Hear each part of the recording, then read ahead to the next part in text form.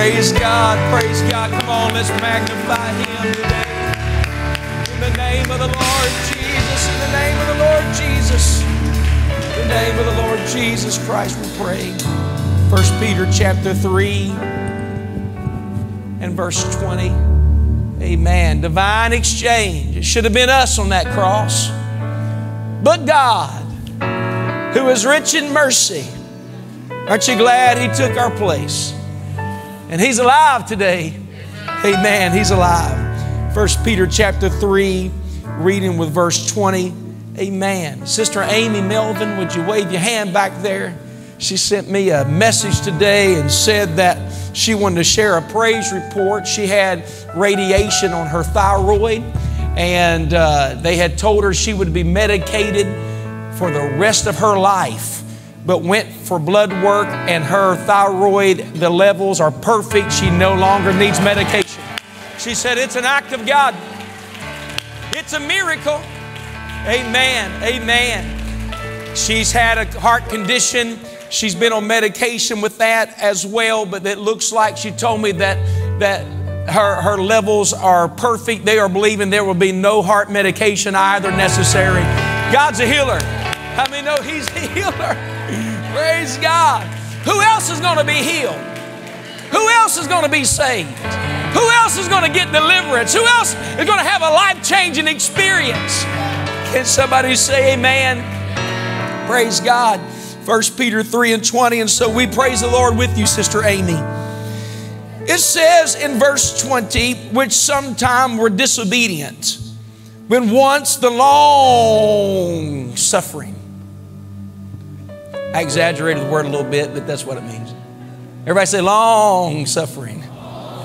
The long suffering of God waited in the days of Noah while the ark was a preparing wherein few, that is, everybody say, eight souls were saved by water. Eight souls were saved by water. Verse 21 makes uh, first three words is what I'm really teaching from the last two weeks or last week and tonight the like figure. Everybody say the like figure. Another really, what that means, it's a parallel. What he did for Noah, this is how it applies to us. Last week, what he did for the children of Israel coming through the Red Sea, baptized in the sea and in the cloud, what he did for them, this is how it applies to us. Or what he's doing for us, this is what happened to them. Everybody say a parallel. Whereunto the like figure whereunto even baptism doth also now save us. A lot of people don't believe that. But we believe it because it's biblical. Baptism saves us. I mean it's part of it? It's not all of it. It's not how holy the water is. It's the obedience to the word of god. Do you believe that it explains baptism saying what it does and saving not the putting away of the filth of the flesh but the answer of a good conscience toward God by the resurrection of Jesus Christ. Amen. I'd like to preach from these two verses just on biblical parallels. I'd like to preach on the parallel of Noah, the Noah, the flood, and baptism. God bless you as you are seated. The world was wicked. Genesis records in the story of Noah and the ark, I'm trying to be very careful because somehow I'm trying to put Jonah in that boat. I, I, am. I don't know if I'm trying to save Jonah or what. I don't know what I'm doing here. But uh, when I was 17 years old and preaching, I preached Moses was in that ark. And somehow they still amen me somehow. And uh, my dad later, he said, Moses wasn't in that ark.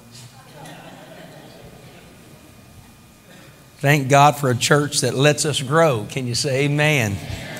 Um, when you are looking at the word of the Lord, the, the Bible tells us in Genesis chapter 6, you want to open your Bibles and follow along, you can. I'll be teaching tonight.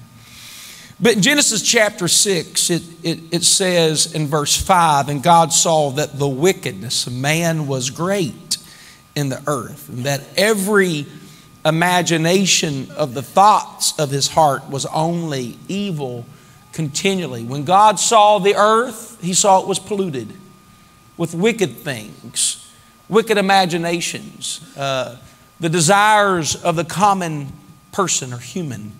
And uh, he said, uh, uh when you look, look at that, there, the wickedness was throughout, sin was throughout.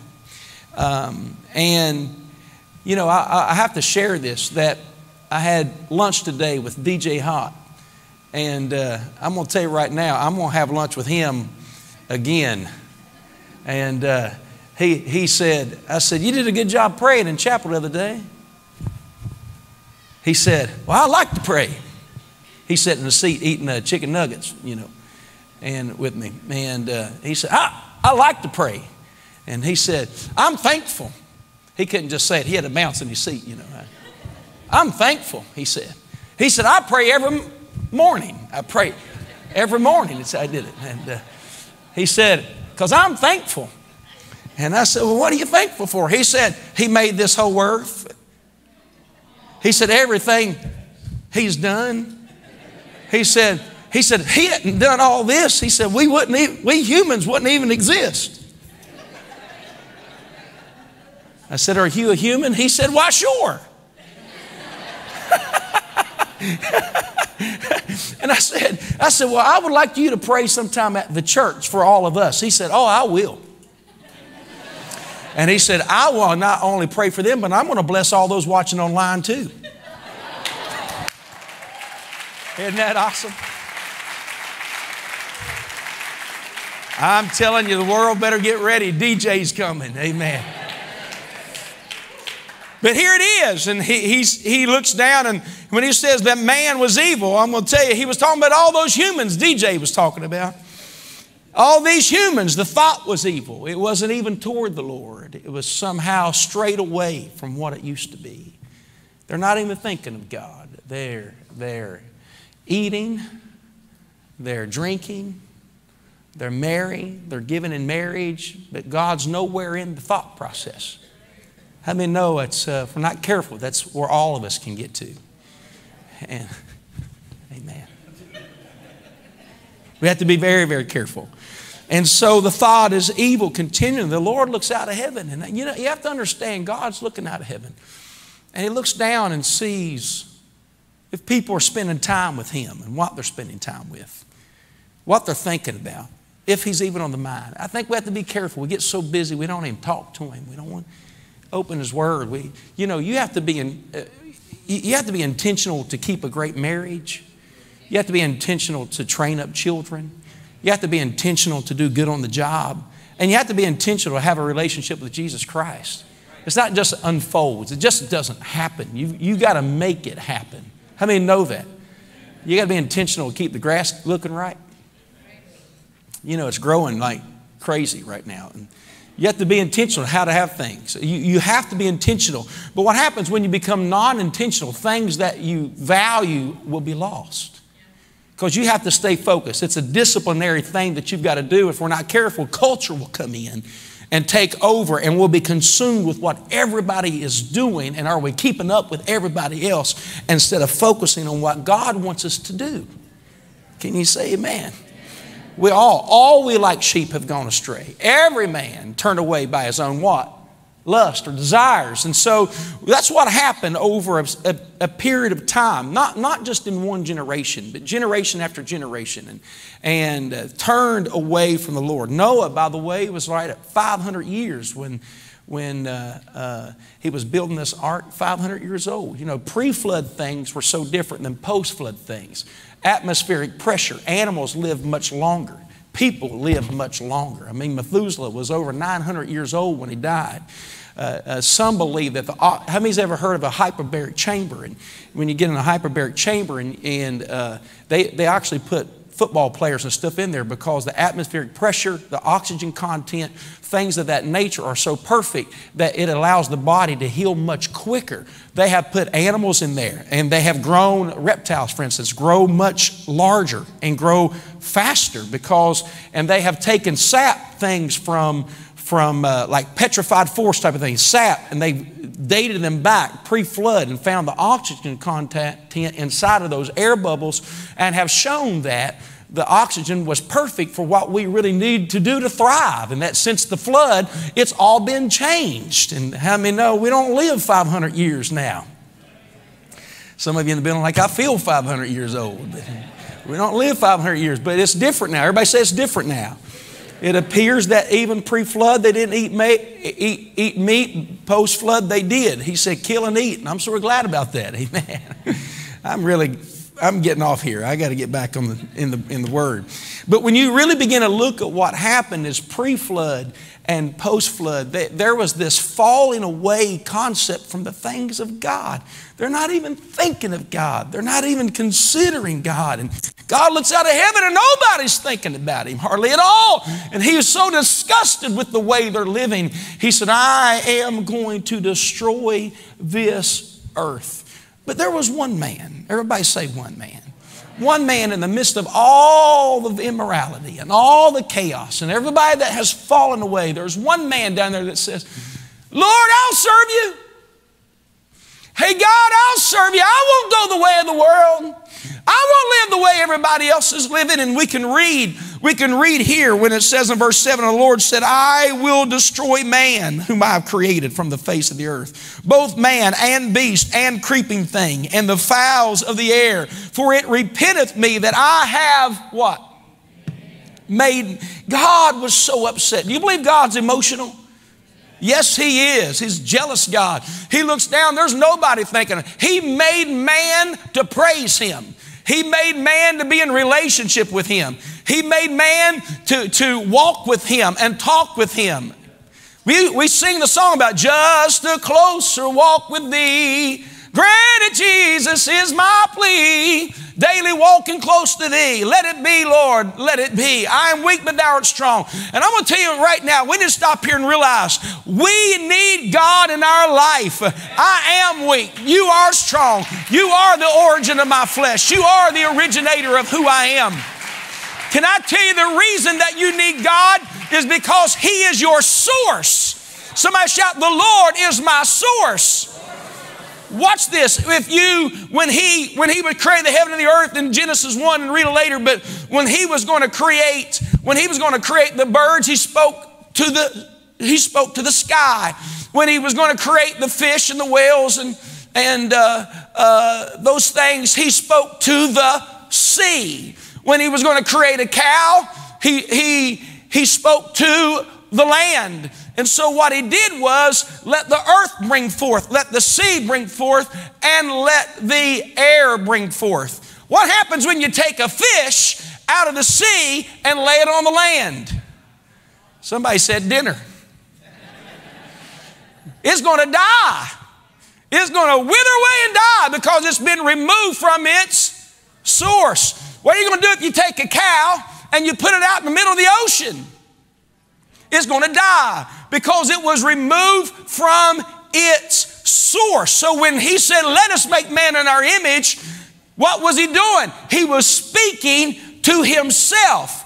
He didn't speak to the ground, didn't speak to the water, didn't speak. He said, Let us make man. Let the earth bring forth, let the sea, let the sky. But when he made us, he said, Let us make man in our image. Why was he speaking to himself? I'm going to tell you why. Because he is our source. Now, you were made from the ground. That's why you've got to eat dirt.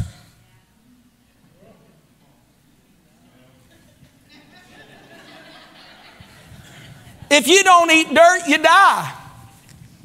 Come on, some of you getting ready to plant some things in the dirt.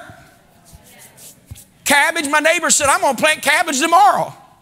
He's getting ready to eat from the ground. I, I know tomatoes look good, but they're from the dirt. You don't eat tomatoes and lettuce and ice cream and because it comes from a cow. Cow eats green grass. Brown cow eats green grass. Gives white milk, makes yellow butter. Under a blue sky, there you go. But what happens is, is if you don't eat from the ground, you will die because from your flesh, that is your source. God formed man from the dust of the ground. The same, listen, but there's a part of you that's not like the cow, the fish, and the bird. It is the soul of a man. Only man has a soul. Man became a living soul. And that's why you need him in the morning. You need him in the evening. That's what makes you thrive, is to have a relationship with your source. We baptized a young man last week, and I met him when he came out of the water. I shook his hand. Jarrett, I said, How do you feel? And his response was, I have never felt better a day in my life. Why? Because he had been reunited to his source. Hey, hey, February the 14th is Valentine's Day. You show these beautiful roses, the red, and they bloom and then they die. Why? Because they've been severed from its source. If we just get disconnected from Him, we're going to be emotionally bankrupt. Our emotions aren't going to be right. We're not going to feel right. We're going to, we're going to, we're going to be successful in the world in some levels of temporal things, and we're going to say something's missing. I don't know what it is. I feel empty. What is it? You need God. He is your source. He is my source and my strength. He's the light of my life. Oh, my cup runneth over, the psalmist said. I'm fulfilled. Amen. Amen. Amen. Come on, there's something about that Holy Ghost. It's God breathing on me again. Oh, clap your hands and praise Him. Aren't you glad that God is your source?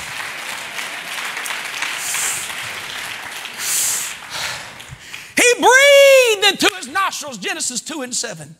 Throw that up there for me. Genesis 2 and 7. I've got to get to Noah here in a minute. Genesis 2 and 7, look what it says. And God formed man. The Lord God formed man of the dust of the ground. And what? Breathe. Everybody breathe. You stop breathing, we're all going to have issues. Service is going to be interrupted. How many know it? You stop breathing. Everybody say breathe. And God breathed into his nostrils the breath of life. My goodness. Read on. And man became a living soul. He was just laying there. But when God breathed on him, go to the New Testament, the Bible says Jesus breathed on them and they received the Holy Ghost. When you say the Spirit of God, when the Bible says in Genesis 1, and, and darkness was upon the face of the deep, and the Spirit of the Lord moved upon the face of the waters, the word Spirit of God actually means the breath of God. Everybody say breath of God. And so what happens is, is when God breathes upon you, He breathed life. Life, but not just to live in the temporal, but it allowed man to become a living soul. Go to the day of Pentecost. And when the day of Pentecost was fully come, they were all in one accord in one place. Verse 2 And suddenly there came a sound from heaven as of a rushing mighty wind, and they were all filled with the Holy Ghost and began to speak with other tongues as the Spirit gave them utterance. It was God's breath that gives you life. I'm going to stop here and tell you today when God breathes, it always brings life, it brings fulfillment. That's what we need. We need the wind of God, we need the breath of God. How many want God to move upon you tonight? How many know it's what we need on a Wednesday? We need the breath of God. He's my source. That's why, that's why people would pray things like this. He's, he's the bread when I'm hungry. He's the water when I'm thirsty. He's my shelter in the time of storm. He's the rock in the weary land. I just want to know on a Wednesday night, is there anybody in this building that can stand and say, He is my source.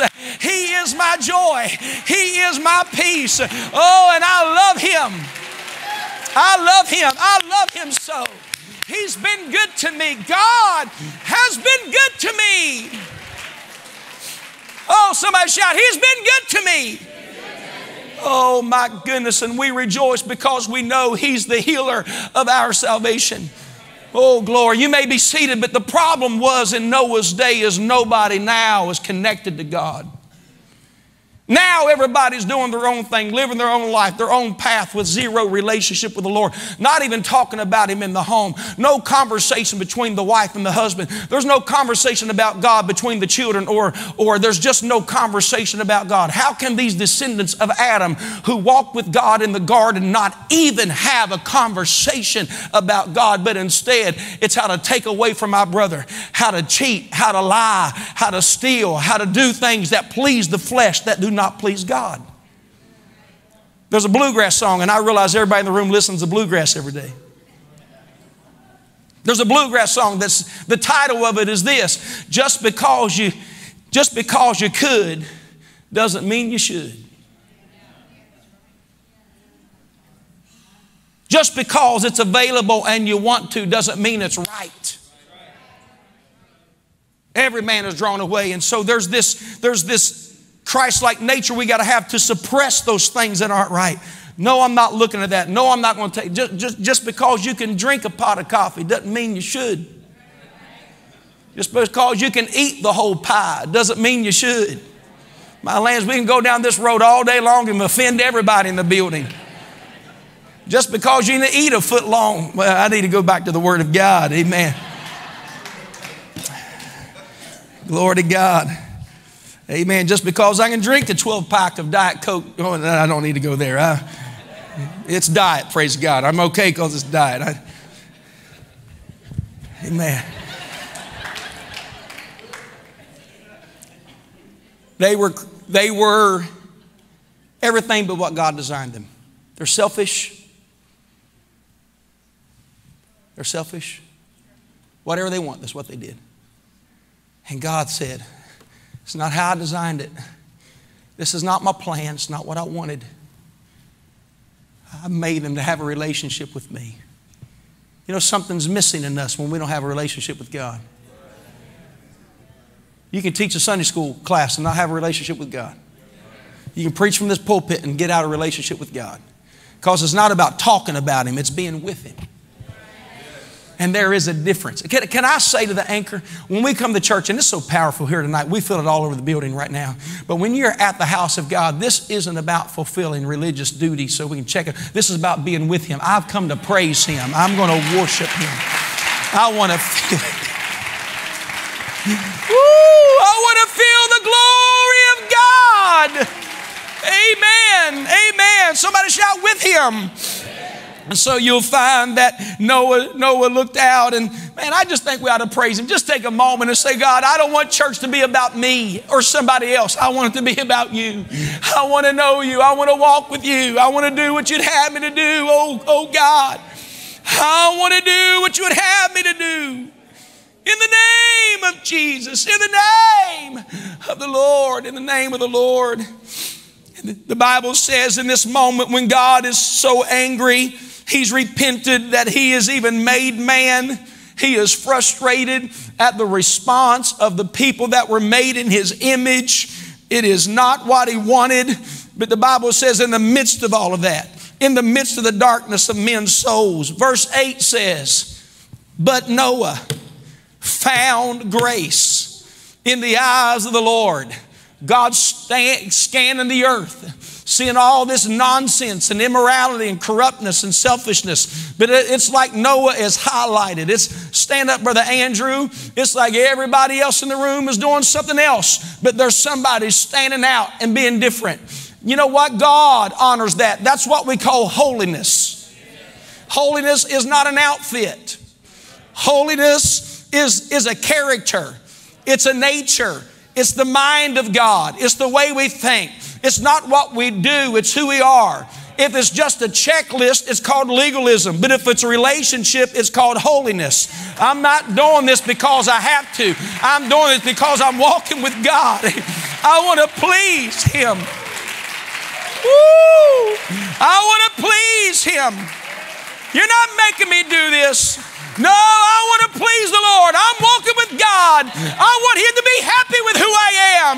I want the words of my mouth, the meditations of my heart to be accepted in His sight. And it's called grace. And Noah, Noah says, Noah says these are, it says these are the generations of Noah. Noah was a just man. a perfect and perfect in his generations. Could I say to every mother, could I say to every mother in this building, you do not have to fret because of culture. One of the most wicked times ever was Noah's day, and the Bible says that Noah was perfect in his generations. Reason it wasn't generation because he's so old. 500 years but he was perfect in the midst of chaos. Brother Nehemiah, we're in a day where the young people, listen, I've never seen a generation like them. It doesn't matter how sick the culture gets, there's a generation that says, I'm gonna walk with God, I'm gonna do the will of God. Come on, you can see it in these young people. They're, you ought to compliment them, you ought to pat them on the back. They want to be virgins when they get married. They don't want drugs in it. Come on. It's a God culture. It's a Noah culture. I'm proud of them. I can't help it. I'm so, I'm so thankful for our young people and our young adults and these young couples. They've got the mind of God. Their rooms are messy, but they got the mind of God. They eat sloppy, but they've got the mind of God. Their handwriting's terrible, but they've got the mind of God. They sometimes stay on their phone too much, but they've got the mind of God. Amen. They don't have always the greatest responsibilities, but they're only 13 and 12. We can't knock them down when that deep down inside they've got conviction that says, I want to do it right. Come on, we can't. I feel the Lord preaching to me right now. I'm thankful I've got a son and a daughter that want to do right. Oh, God, help us. Hallelujah. Man, I'm off to I, am off what I was going to talk about, but I feel this. All of you men in the building better understand. Your wife, your wife is not is not your house cleaner. She's not the person that picks up your underwear. She's not just a person to make you happy and please you. You need to understand that the wife that God gave you is, is for your benefit. You'll be lost without her. You need her in your life. She's not to be demanded, she's to be encouraged. She's to be uplifted. Tell her how pretty she is, how valuable she is. You need her in your life. Come on, can you say amen? My goodness. I was getting ready to preach on the women to the husbands in just a second, but I feel like I've covered it good enough here tonight. We got to understand the value of one another. Amen. We need to honor each other. Somebody shout honor. In, a, in one of the most craziest cultures that's ever existed is now. It's chaos. Even sinners know there's something wrong. How many know it's right?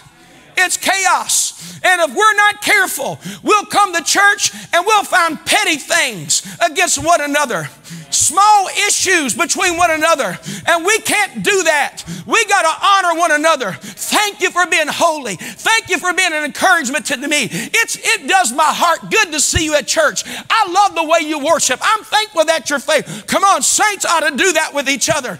I'm so glad you're here. I've been praying for you. Come on, we on a Wednesday night, you know, on a Wednesday night, you've got young people there. You've got people in classes in different rooms. We got a Bible study going on here. And sometimes we feel so insecure because of a world of chaos and we feel like Noah and all alone. When we get to the house of God, we shouldn't feel like we're by ourselves. We ought to feel like we're together. We're together. Amen. I'm appreciated here. Somebody shout glory. Look at your neighbor and say, The pastor said to honor me.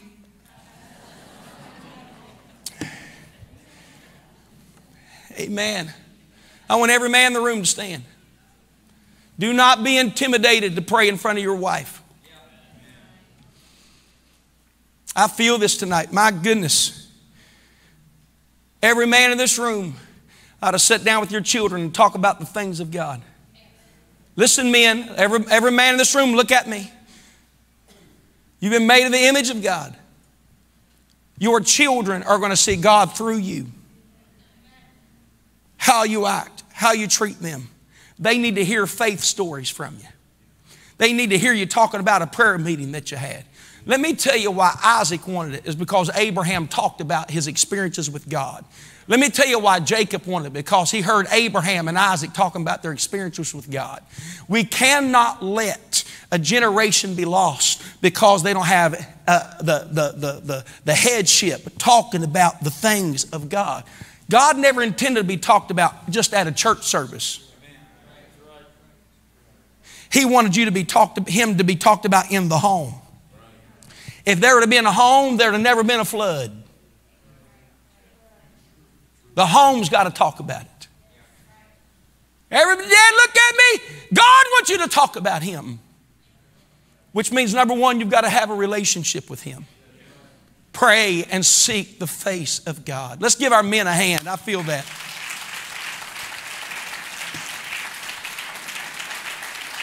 Thank God for our men. We have a lot of amazing men that go to this church, hardworking, righteous, godly men. Somebody say, Amen. amen. Praise God. Shout and worship and get emotional. Whoever thought that it was weak to cry did us a disservice. Real men don't cry. That's hogwash. God wept.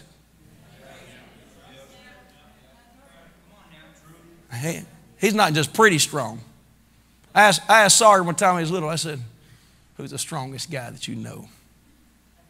He said, Nehemiah.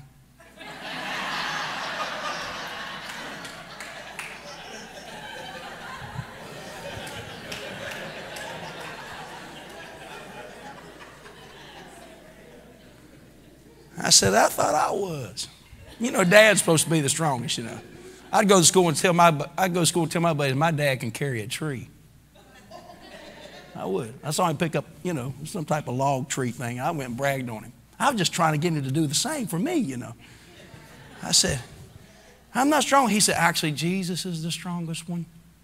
Can't argue with that. I think we got to understand that we've got to be men bear our hearts before the Lord and express our praise before Him in front of our children and our wives.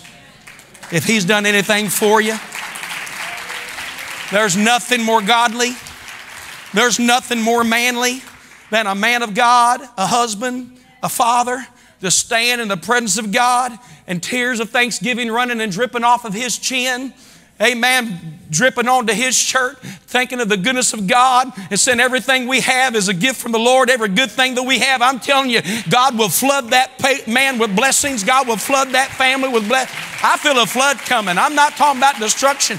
If you'll just pray, come on, anybody want to praise Him?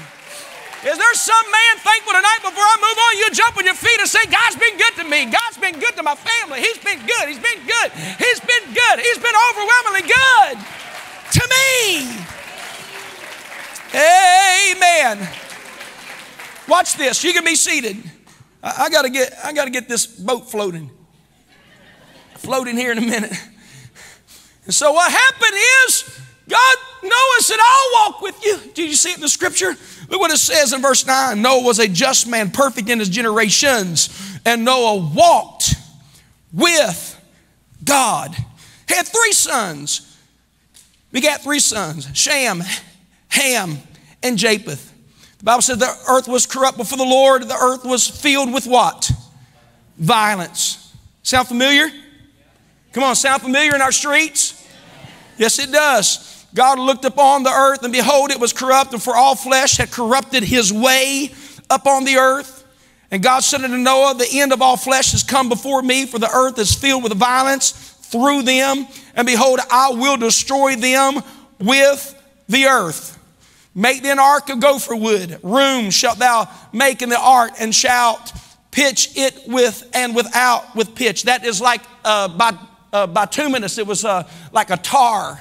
The, the ark would have actually been wood, with, would have been black with tar that bubbled up out of the hot springs that were about eight miles from there, where he built, built that boat and the, the tar would come up from the earth and they would scoop it up. Those boys would go down and some makeshift buckets and carry that tar and come back and hundred and over a hundred years they built it with gopher wood. They built it, they they they sealed it with a, a tar so the water couldn't get in and stuff couldn't get out. It was sealed within and without.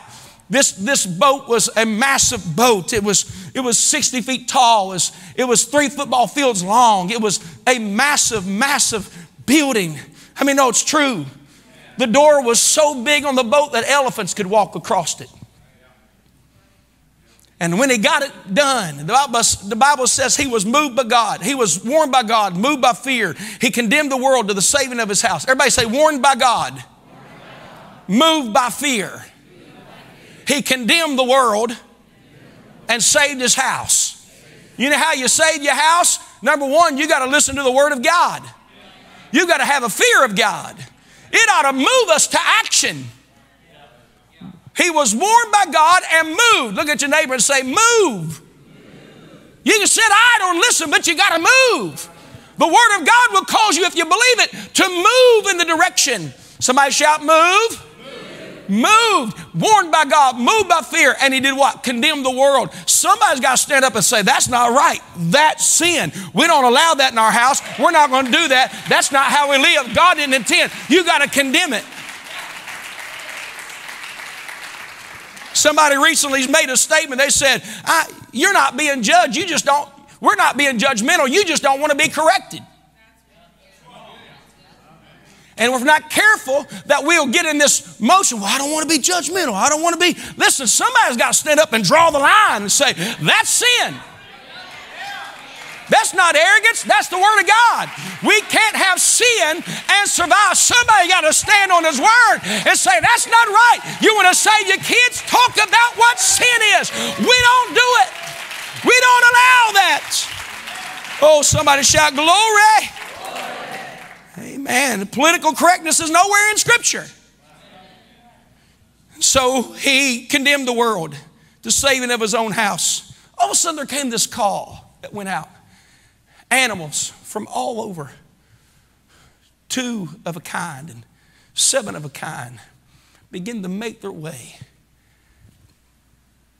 to the ark. Giraffes, elephants, dogs, cats. I got to ask the Lord about ants and rats when I get there. What in the world? Here they come, begin to make their way on that ark. How did they get there? He wasn't riding a horse and lassoing them, dragging them to that boat. Oh no. Two were in the field. One was taken, and another one was left. There was a call of God that went. Everybody say a call of God. Drew them to that boat. There was a drawing into that boat. That's what's happening right now, Brother Dean Reinhardt. There was a drawing of God that's happening all over the world. Jews, what you see happening with the Jews physically, I heard that they had some bombings going on there. But what you see happening in, in Israel in the physical is what's happening in the church in the spiritual. We are the spiritual people of God. Can you say amen? And people are leaving their countries from all over the world and returning to Jerusalem. Matter of fact, the, the, uh, the president of Iran, he said, I hope they all land here so I can destroy all of them with one bomb. That's the hatred of the Jews. But they are gathering there from all over the world. Why are they gathering there? Because it's the end time end draw. That's why God is drawing backsliders from all over. It's happening all over the world, all over the nation. You know why? Because no man cometh to God except the Spirit draws him. This is a parallel. There's an indrawing of God to the boat. There's, come on, how shall we escape? if we neglect so great a salvation. God has set in front of us a salvation plan. And the salvation plan was right here come out from the world and get on the boat. And God said to Noah, everybody said he was called the eighth man. Yeah. Hey, honey, I was getting ready to say you're going to be my wife, but you are my wife. Here, I'm going to be Noah. I'm going to be Noah. I love this lady. She's the best. Come on, Ham, Shem, and Japheth, come up here. Ham, my land, now we need to get y'all wives. We got to get you some wives here for a minute. You two, come here, Sister Ashley, come and help me. You're closest three. Closest three. Come on, you three wives. Come on, Whitney. Everybody saying, awkward. come on, go stand by your husbands right here, Sister Ashley. Now watch, watch. somebody have a phone to take a picture of this. This is. How did I know that David Wallace would have a camera? How do we know that? Might as well smile, you're on camera. But watch. Here's the door. Here's the door. And Noah stands beside the door. Come on, son. Get in. I know what time it is. Come on, son. Come on, Shem. Get in. Y'all get up on the platform. That boat's bigger than that. Come on. Japheth, get on. Honey, make sure they're all in there. And God said, Get on that boat, Noah. The time is now. See, God will never just, He lets us know when the time is. It's a biblical pair, as it was in the days of Noah. See, when they wrote the New Testament, there was no New Testament. When, when Paul, when, when Simon Peter's writing this epistle, there was no New Testament. There was only the Old Testament. So he is teaching the believers to understand their experience and what to look for by the word of the Lord, by basing it on parallels of the Old Testament. As it was in the days of Noah, so shall it be. And, and he's comparing baptism to this. And, Get on the boat. When they got on the boat, the door shut. God shut the door. Look at your neighbor and say, God shut the door. He was called in the Bible the eighth man. Why? It was his responsibility to get his family on that boat. That's my responsibility, is to make sure my family is going to get on that boat. Everybody save that boat. Give him a hand. Thank you for helping me.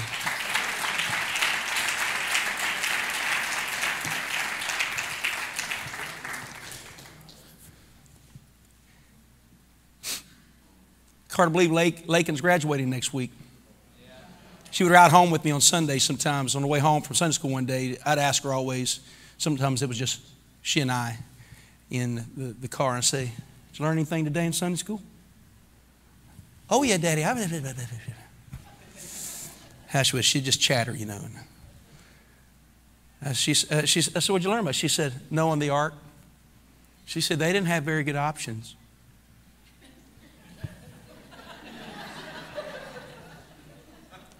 I said, What do you mean? She said, It was either the flood or.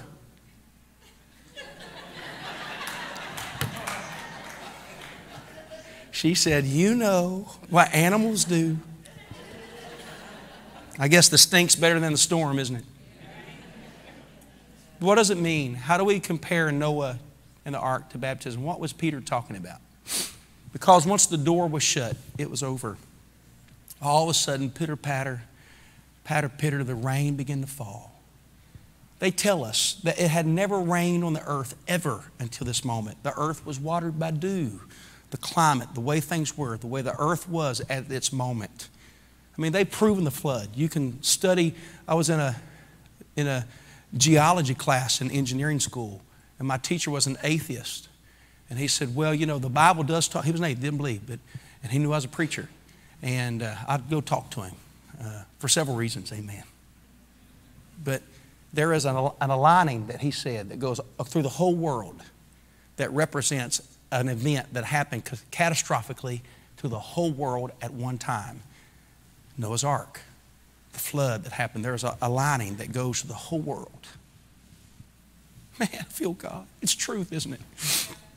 And uh, the water came and flooded the earth. And when it flooded the earth, People were lost. People were lost.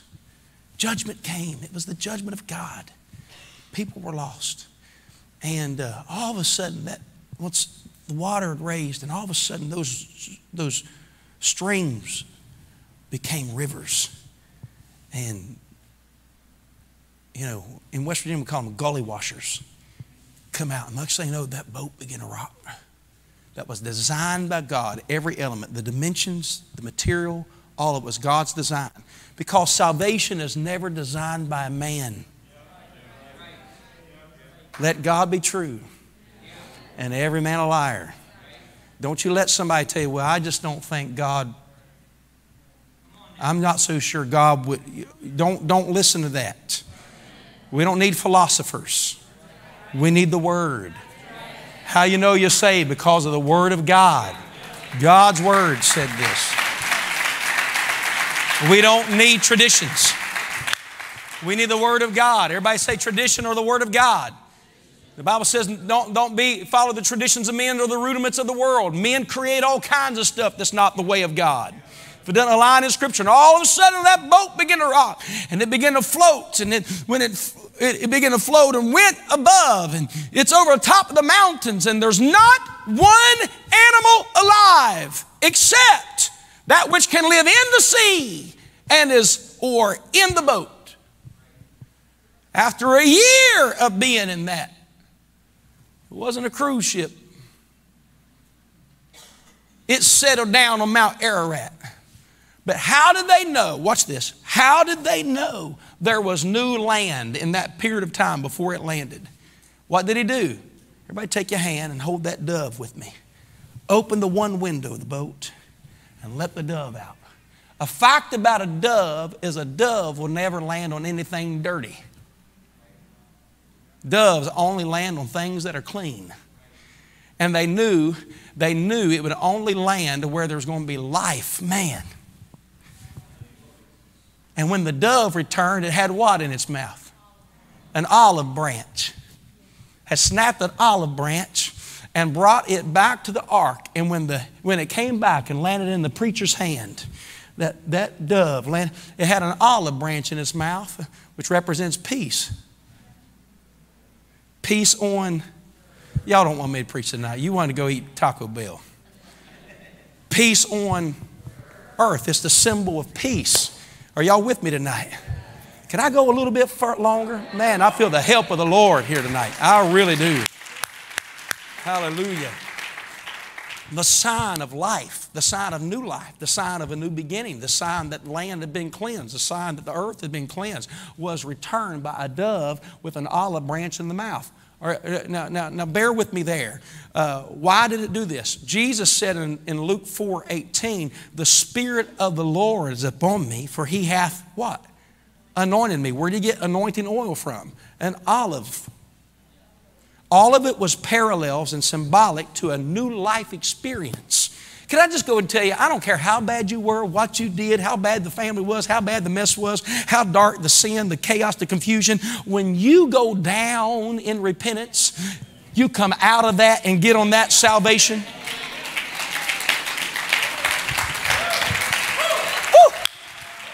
I feel, I feel like DJ Hot. Glory. When you go down in repentance and you say, Take me to the water. You see, the water in Noah's day, what did it do? It didn't say eight people were saved by the ark. It said eight souls were saved by water. 1 Peter 3.20, the long suffering of God waited. God waited. And then all of a sudden when the water came, why, why did it say that eight, those eight, Noah, his wife, Ham, Shem, and Japheth, and their wives, that's eight souls. You would have thought to be saved from the flood, you would have been saved by the ark. But it didn't save eight people, it said eight souls. Because the soul, the, the soul issue is a sin issue.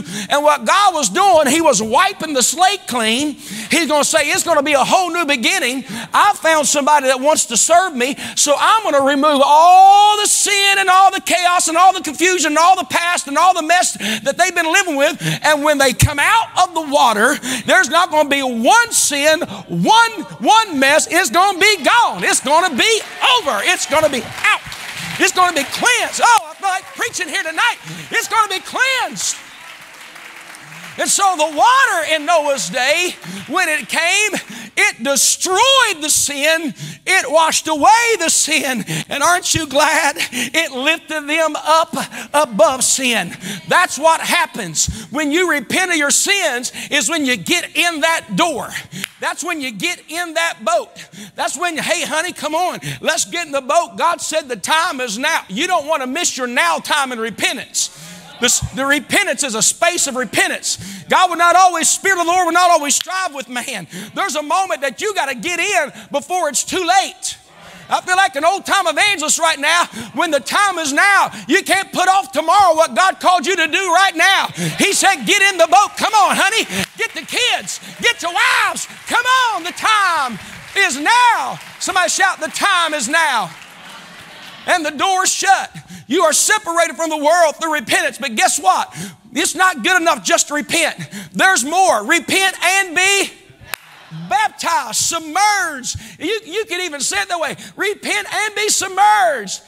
Every one of you, Acts 2.38, in the name of Jesus Christ for what? The remission of sins. Why did Simon Peter in his writings say that baptism doth also now save us? Why? It's a parallel. What the water did for Noah, his wife, his boys, and their wives is what baptism does for you. When you repent of your sins, you got on the boat, but you get down in the water, it's to destroy the sin in your life. It's to wash away it's going to wash away the sin in your life, and you're going to come up out of that water. The Romans 6 4 says, You will arise to walk in newness of life, a life of no sin. Your mistake, let's all stand. It's gone, it's washed away. He's removed it all.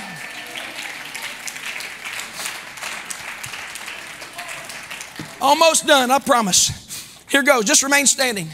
I'm not going to hold you long. I, am not going to do like I did Mother's Day. Bear with me, watch.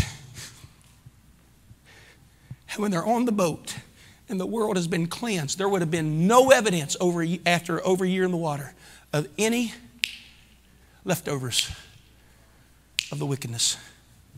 Hydraulic pressure, decay would have been gone. Everybody say cleansed. The earth had been cleansed.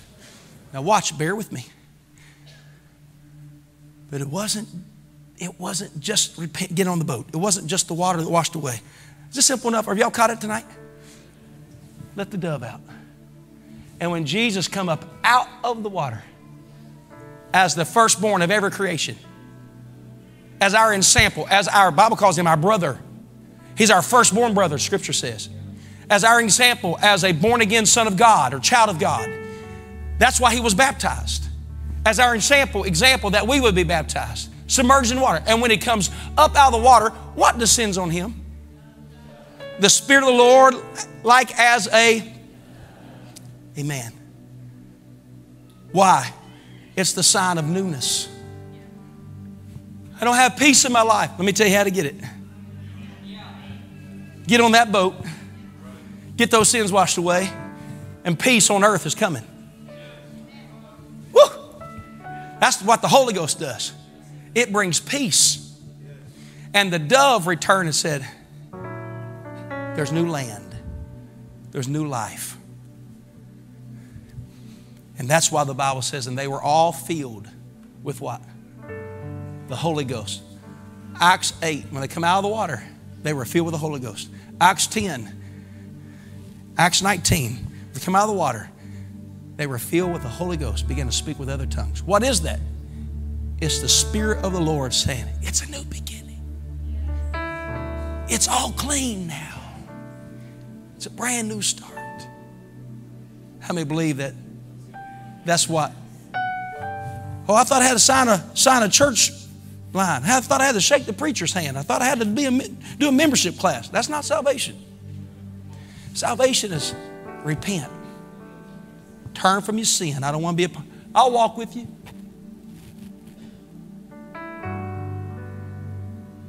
I want to walk with you.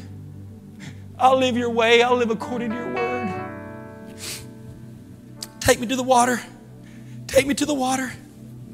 Because I want that stuff washed out of my life. When you come up out of the water, the dove's coming. That's a parallel, by the way, a dove. The Holy Ghost is not a dove. It's an example of what how the nature of his spirit. It's the breath of God, it's the peace of God, it's the life of God. Honey, I couldn't love you more. And I love living this life with you. And it's amazing how many people that I've seen come to God, and when they are filled with His Spirit, they said, I didn't realize how much more I could love my spouse, my family. So Colossians 2 9 says, In him, speaking of Christ, dwelled all the fullness of the Godhead bodily. Are you ready? And we are complete in him. Romans 6 says we are buried with him in the baptism. And when I get in him, I'm actually burying my past and my shame to arise a new creature in Christ Jesus, a new person DJ Hott would say, a human in Him. Aren't you glad you can have salvation? Doesn't matter how bad you've been, He makes all things new. He makes all things new. God, I've preached the word tonight. I've taught them. I just pray that your spirit would move and heal and touch and do what I can't do. In Jesus' name. This altar is open for anybody that wants to pray. If you want to be baptized, I'll baptize you. You want to repent, we'll pray with you. You need a healing in your body? Listen, this altar is completely cleansed by His Spirit. His Spirit falls in this church. It's clean. Can you say amen? Everybody say the breath of God. I mean, I think all I think every man in this room ought to start seeking God right now because what I told y'all earlier. I'm gonna talk about him in my home. I'm gonna celebrate him when I'm at the house of God. I'm gonna tell my kids about my experience. Come on, all over this building. You want to come and pray, you can. I realize it's 803. If you need to go, you can. If you want to pray and worship, you can. They're going to sing. We're going to let the Lord move among us. You want to kneel, you want to, whatever you feel to do tonight. I want everybody in the building, though, to respond to His word right now. Come on, everybody in the building, some way, start responding God, I want it. I need it. I love you, Jesus. Oh, God, I thank you for your word.